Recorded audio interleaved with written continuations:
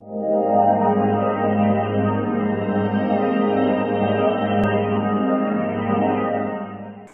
chào quý vị và các bạn. Sau đây tôi xin giới thiệu với quý vị và các bạn à, về nhược điểm của loại ga L22. Về nhược điểm của loại ga L22 chắc hẳn các bạn à, nhiều người trong số các bạn chưa nắm rõ. Sau đây tôi xin chia sẻ đến quý vị và các bạn về nhược điểm. Thì nhược điểm là thứ nhất à, của ga L22 thì độ nhớt của nó lớn và có tính uh, lưu động. Uh, nó kém nên uh, các đường ống của van đều phải uh, lớn hơn. Nhiệt độ uh, của van đều phải lớn hơn. Nhiệt độ uh, âm 20 độ C đến âm 40 độ C môi trường uh, môi chất không hòa tan dầu.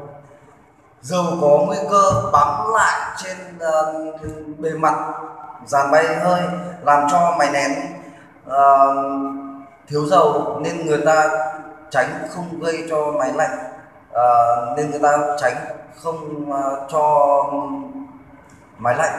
Dùng ga L22 làm việc ở nhiệt độ này tuy rằng uh, không độc hại đối với cơ thể sống nhưng khi nồng độ lên cao quá cao có thể uh, bị ngạt thở do thiếu uh, dưỡng khí.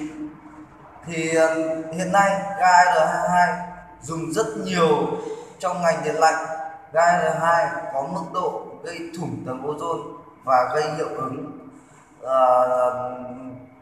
lồng kính làm uh, nóng địa cầu. Do đó loại ga L22 này được sử dụng đến, theo các bạn, đến khoảng năm à, 2040 mà thôi.